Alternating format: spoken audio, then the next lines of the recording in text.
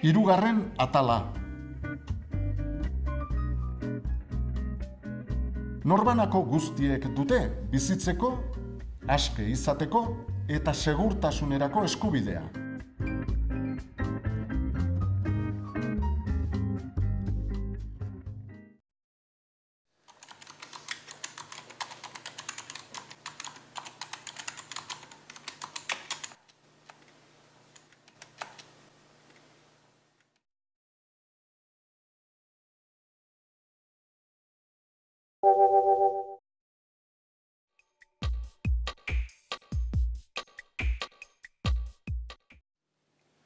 Gobernuek, bai udaletakoek, bai autonomia erkidegoetakoek, bai estatuetakoek, gure segurtasuna eta babesa bermatzeko erantzukizuna daukate.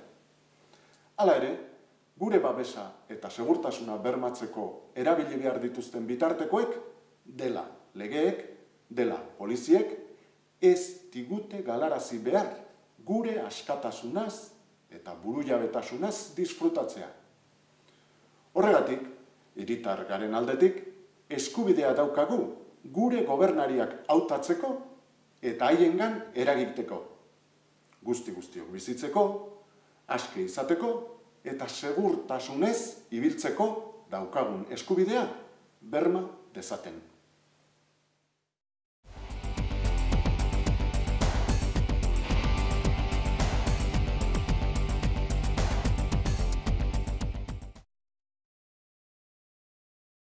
Hiltzea, hiltzea da.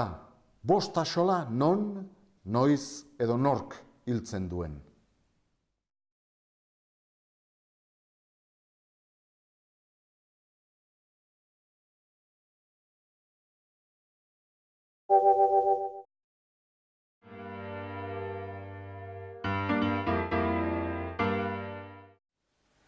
Nazio batuak oso daude kezkatuta munduan urtero eriotza zigorra zildakoen kopurua eta desagertuena gora doalako.